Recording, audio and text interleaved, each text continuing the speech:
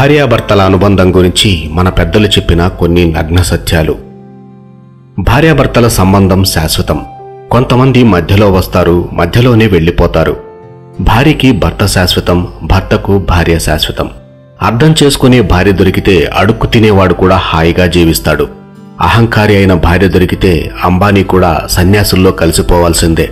నీకు ఎంత అదృష్టం కలిసి వచ్చినా నువ్వు ఎంత కష్టం చేసే వాడివి అయినా నీకు నీ భార్య సహకారం లేకపోతే నువ్వు ఏ రంగంలోనూ రాణించలేవు.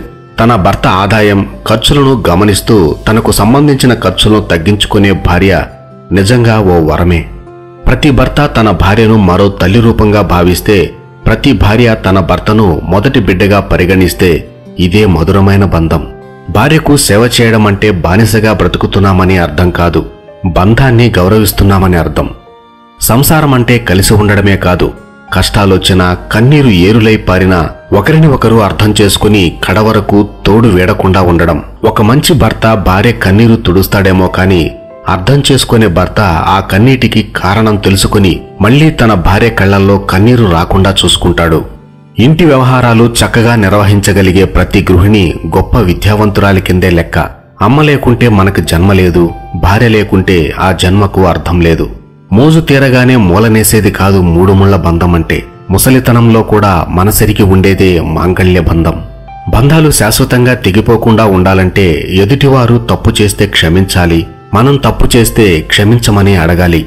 మూర్ఖురాలైన భార్య తన భర్తను బానిసను చేసి ఆ బానిసకు యజమానిగా ఉంటుంది. కాని తెలివైన భార్య తన భర్తను రాజును చేసి ఆ రాజుకు తను రాణిగా ఉంటుంది. కుటుంబంలో ఎన్ని సమస్యలున్నా సమాజంలో భర్త పరువు నిలబెట్టాల్సిన బాధ్యత భార్యది. భార్యను చులకనగా చూడకుండా గౌరవించవలసిన ధర్మం భర్తది. గొడవ పడకుండా ఉండే బంధం కన్నా ఎంత గొడవ పడినా విడిపోకుండా ఉండే బంధం దొరకడం ఒక గొప్ప వరం. బంధం అనేది అందమైన పుస్తకం లాంటిది. పొరపాటు అనేది అందులో ఒక పేజీ మాత్రమే. ఒక చిన్న పొరపాటు జరిగితే సవరించాలి కానీ మొత్తం పుస్తకాన్ని చించిపారేయకూడదు. మనసులోని ప్రేమని బాధని కళ్ళల్లో చూసి చెప్పకుండానే గుర్తించగలిగిన వ్యక్తి భాగస్వామిగా దొరికితే అంతకు మించిన అదృష్టం మరొకటి ఉండదు. అందాన్ని చూసి పెళ్ళి చేసుకోవడం అంటే ఇంటికి వేసిన రంగులు చూసి ఇల్లు కొనుక్కోవడమే. భర్తకి భార్య బలం కావాలి బలహీనత కాకూడదు. భార్యకి భర్త భరోసా కావాలి భారం కాకూడదు. భార్యాభర్తల బంధం అన్యోన్యం కావాలి అయోమయం కాకూడదు. ప్రతి అమ్మాయికి చదువుకున్న భర్త రావడం సహజం.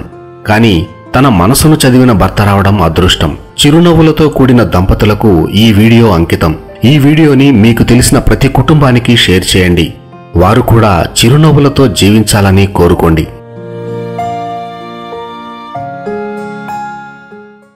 ఫ్రెండ్స్ ఈ వీడియో మీకు నచ్చినట్లయితే లైక్ చేయండి షేర్ చేయండి. ఇలాంటి మరిన్ని వీడియోల కోసం మా ఛానల్ని వెంటనే సబ్స్క్రైబ్ చేసుకోండి. Thanks for watching.